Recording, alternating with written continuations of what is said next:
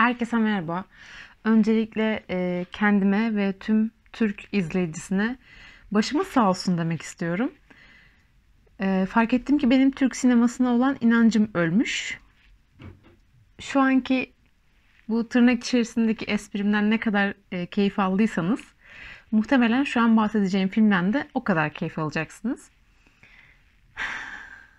Bu senenin ilk hayal kırıklığı Azizlerle başlayalım. Aziz isimli bir karakter var. Bu e, karakter, ana karakterimiz aynı zamanda yalnız kalma isteğiyle e, baş başa sürekli.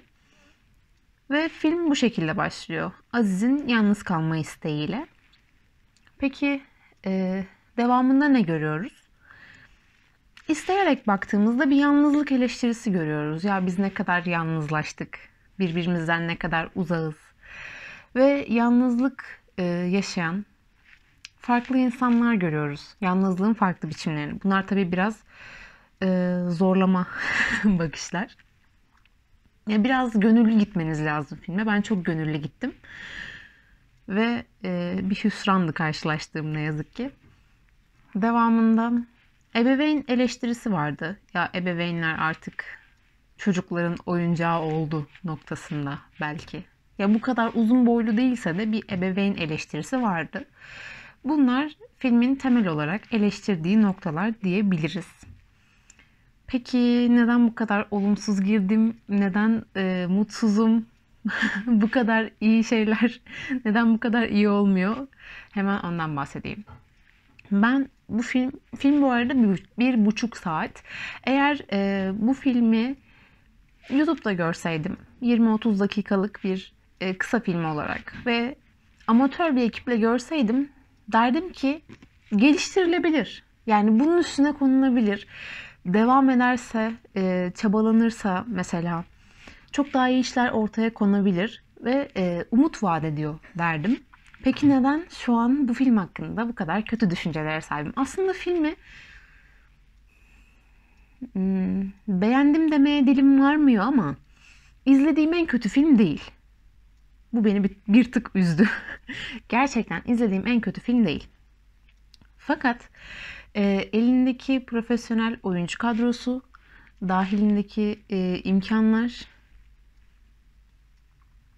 ya bu kadar e, fazla, bu kadar yeterli imkana sahipken e, bu kadar kötü iş ortaya koymak aslında beni e, inciten şey. Gerçekten mesela bazı noktalarda espri olduğunu düşündüğüm şeyler var ama umarım espri değildir. O kadar komik değil. Ee, absürt yazmışlar. Hani türüne. Bence absürt de bu değil. Birkaç yerde komedi olarak geçiyor. Komedi hiç değil. Yani koca filmde ya bir buçuk saatte e, güldüğüm sadece bir sahne var. Şu an bahsedeceğim sahne alenen spoiler. Çünkü sahneyi anlatacağım. O yüzden isterseniz atlayabilirsiniz. Şöyle Haluk Bilginer, e, Erbil karakteri.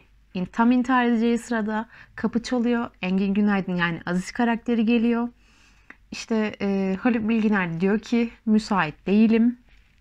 E, işte bir işim var. Bu sefer Engin Günaydın diyor ki yardım edebileceğim bir şey var mı? Yardım edeyim. O diyor ki senin yardım edebileceğin bir şey değil. Tek başıma yapmam lazım. E, buna karşılık işte Engin Günaydın da şey diyor ya ayıp bir şey mi ya da işte e, münasip olmayan bir şey mi tarzında bir soru yöneltiyor. Haluk Bilginer de diyor ki böyle çok umursamaz bir tavırla. Musevi dinlerde evet. Güldüğüm tek nokta burada. Onun dışında fark ettiyseniz söylediğim isimler hep oyuncuların isimleri.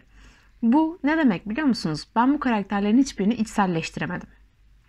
Gerçekten bir karakter e, özellikleriyle birlikte ortaya konduğunda bir filmden, bir diziden, bir tiyatro oyunundan, bir kitaptan çıkar ve sizin hayatınıza dahil olur. Aslında Çehov'un hep ulaşmak istediği nokta ve aslında Çehov'u bugün Çehov yapan nokta da budur. Karakterlerinin yaşıyor olması hala aramızda bir yerlerde. Ben buradaki herhangi bir karakteri hissedemedim ciddi anlamda. Yani hayatımda emsal yok O yüzden hissedemedim diyemiyorum. Benzer karakterlerle elbette ki karşılaşmışımdır. Fakat içselleştirme noktasında boşluk kaldı. Çünkü yeteri kadar tanıyabildiğimi düşünmüyorum e, karakterleri. Yani yeteri kadar anlatılmadı bence. Öte yandan e, bunu nasıl daha kibar anlatabilirim bilmiyorum ama bir çocuk oyuncu var. Ve e, çocuk oyuncunun ne yazık ki rolü çok kötü. Ya belki izlerken sizi gülümsetebilir. Umarım gülümsetmez. Ee, belki gülüp geçersiniz ve umursamazsınız. Fakat bu bizim ve tüm dünya sinemasının çok büyük bir problemi ne yazık ki. Yani biz bir çocuğa kötü bir rol verirken, biz bir çocuğa yaşından büyük ya da yapmaması gereken davranışları da içeren bir rol verirken aslında onun da bir çocuk olduğunu unutuyoruz. Yani burada e, işte hakaretler savuran, saldırgan, e, yetişkin gibi davranan bir çocuğun e, kısmen güzellendiği bir ortam var. E çünkü bu bir oyuncu ve dışarıda insanlar onu gördüğünde gerçek ismiyle değil de en son nerede görmüşlerse onunla hitap edecekler. Belki o karakteri sevecekler ve e, çocuğun kafasında bu iyi bir şeymiş gibi yer edinecek. Yani bu çok titiz bir çalışma gerektirir. Çocuğun işte senaryodan, senaryonun gerektirdiği o e, kısmen işte şiddet içeren, kısmen e, davranış bozukluğu olan karakterden hiçbir şey almaması demek e, çok titiz bir çalışma demek ve gerçekten her dizi film bunu yapıyor mu? Mesela çok merak ediyorum sette bir pedagog çalışıyor mu?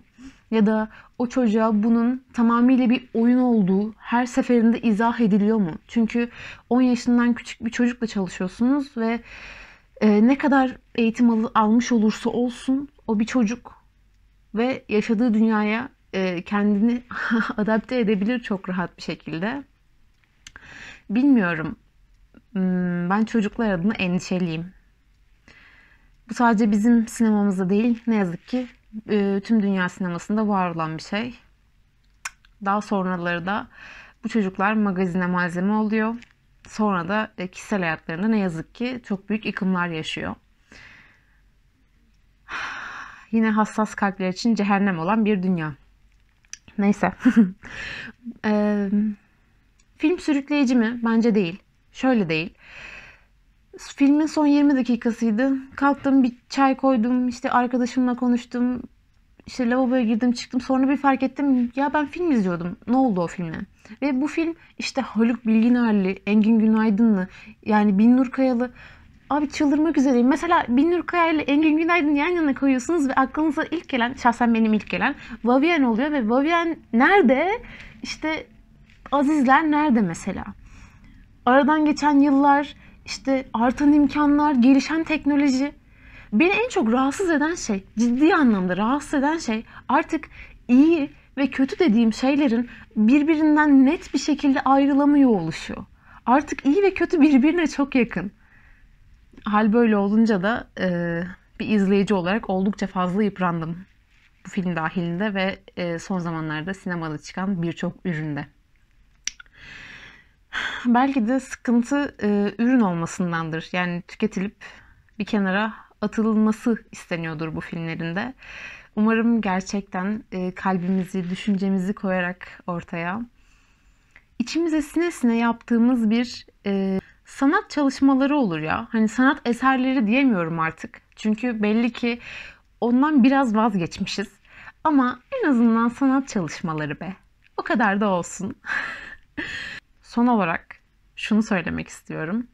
Çıkarmayacağım demiştin. Kolye nerede? Videoyu kapatmıştım ama söylemezsem olmaz içimde kalır diye hemen bu kısımda eklemek istiyorum.